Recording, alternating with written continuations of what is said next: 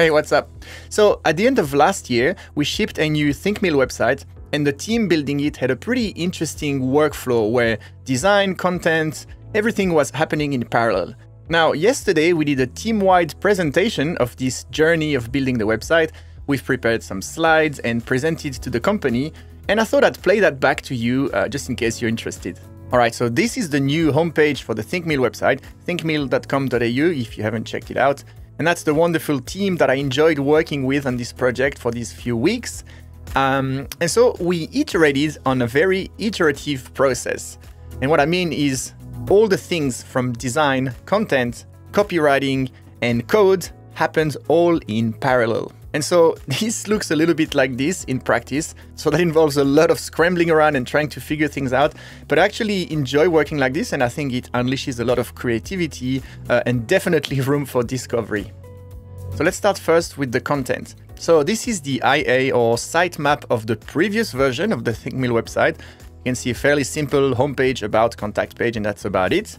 Uh, and this is the ambition for the new website that we've released. And that doesn't feel like a lot, but each of these little tentacles that you can see here actually has a lot of ramification and there is a lot of content. So the team working on the content side of things uh, started organizing things in terms of taxonomy and content relationship and sort of think like a CMS, what belongs to where, what is related to what, etc. And so that happened in an Airtable. And also then in Figma, there was a lot of exploration on how to display and organize this content in a meaningful way.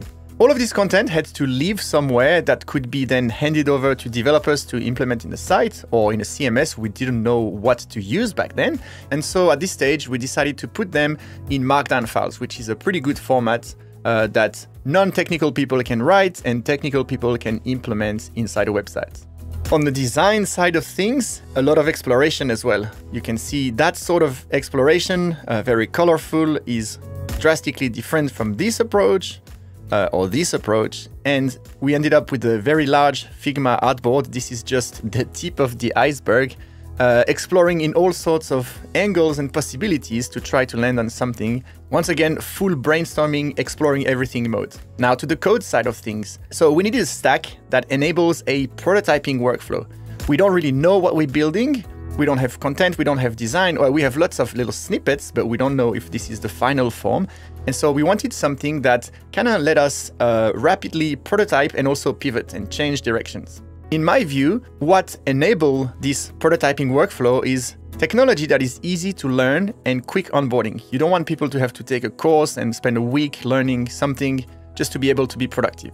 The code needs to be easy to delete or move around because you're most definitely going to scratch some ideas, roll back, uh, change completely, throw things away. And so it needs to feel like throwaway code literally, but something that can actually scale without being rewritten after that.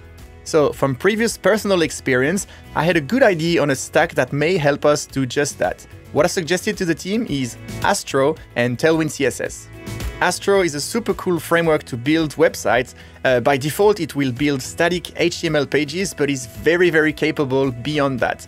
Uh, so things that we liked about Astro is, first of all, remember we were talking about these markdown files, you can consume markdown files. But if we decided to pivot, uh, we could also consume data from a headless CMS or an API. So this felt like we could just organize lots of content and then find an easy way to pull in and display it in pages. Like I mentioned, you're not limited to HTML pages. If there's parts that require high interactivity, uh, you can use something like React, Svelte, Vue, etc. People at ThinkMill are very, very proficient with React, and I liked that uh, Astro wasn't a departure from this. You can still use React in places where it makes sense. And finally, uh, Astro has a great community and community tools like extensions to handle SEO, Open Graph, or image optimizations. And the community is thriving. There is a really good Discord channel. And so this gave us the confidence that we can, if we hit a roadblock, get some help and also have some fun and network on the way. Now, Tailwind CSS, if you know anything about me, this is not a surprise. Uh, but basically, what it gives you is a series of tokens for things like colors or spacing and anything else that can fit inside a scale. And then it gives you these utility classes, like here for padding, and you can reach for this token and apply these to specific CSS properties. And that lets you prototype really quickly, but also work on one specific HTML element, which means that if you need to delete something in your markup, uh, you can delete the styles really easily without worrying about breaking something else somewhere else. So the desired traits of a stack we were looking for was easy to learn, code easy to delete, and feels like throwaway code, and I'm pretty confident that Astro and Tailwind check these boxes. So, we have a stack, where do we start? We don't have designs, we don't have content, but we can still figure out things that are likely to end up on a website. Things like a navigation with the different pages that have to be displayed. So one of the very first pull requests was to recreate this uh, sitemap we had in Whimsical uh, and create a basic navigation with just placeholder pages. And then we could progressively wire up the logic in Astro so that when markdown files are added to a directory, they get pulled into this listing. And clicking on one of these would take you to the actual case study. Again, all of this is markdown files, so that's handled by a content person who can stay focused on gathering content and not really worry about how to display it on the site. And then on the other end, the developers can grab that and display it with Astro. And so things evolved progressively and organically like this. You can see the navigation is a little bit more on brand. We start to have a series of case studies a bit more consistent. And next we started building a series of reusable UI components or what we thought would be nice to have and reuse. So you can see we have things like a card component with different possible props, uh, buttons, because every website needs buttons, and gradually we started molding this website together with more and more design, but also more and more business logic and code coming together. So here's a really interesting part. This is our news section and it's gathering data and content from different sources like articles, tweets, videos, embeds, and a lot of different things. This is just a few of the first posts. There are a lot of posts. And shout out to Tom Whitaker from the team who built this with Astro. So it's pulling different types of content via Astro, and then it's filtering it, sorting it, and it's not just used on the news feed. It's also used on the community page here and also on our blog. So the same content is being displayed and filtered differently for different contexts, which is pretty cool. If you're interested in the specifics of how this was built with Astro and TypeScript, Tom wrote an article on this and also made a YouTube video, so go check it out.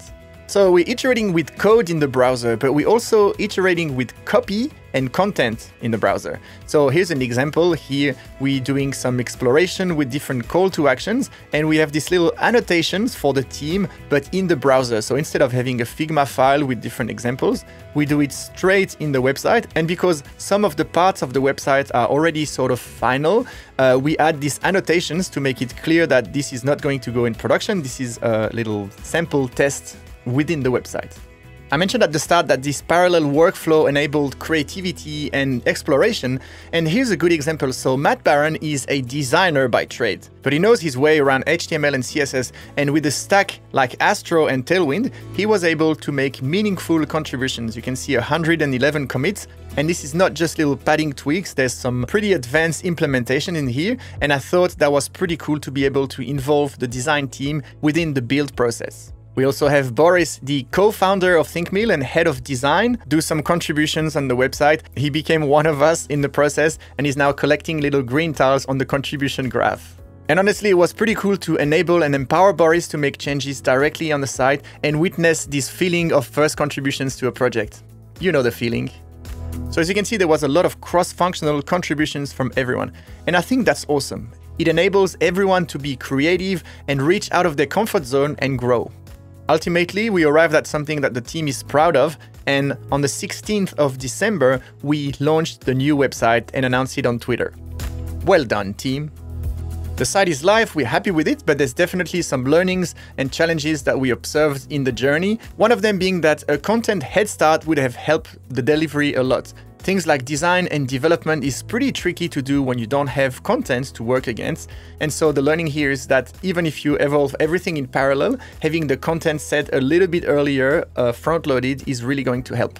This is somewhat related, but because we didn't have structured wireframes, we were evolving the website directly in the browser, and Tailwind is sort of like a huge box of Lego blocks you can do really structured and consistent things with it and everything clicks together. But if they're all mixed in a box, everyone in the team is gonna grab a series of stuff and create their page with their own principles about padding and font sizes, etc. And then it creates a lot of like um, divergences, if that's a word, between the different authors of pages. But in a way, that's alright because Tailwind is easy to delete and change and abstract components later once you know what you're building. But because we didn't know until a certain part late in the process, there was a bunch of churn doing things like this with everyone working in parallel. On the flip side, this led to really interesting conversations within the team, like what should be global typography? Can we have some base styles that apply to different blocks? What about the spacing when you want to compose multiple blocks in a page? How do you handle the container cropping and the vertical spacing?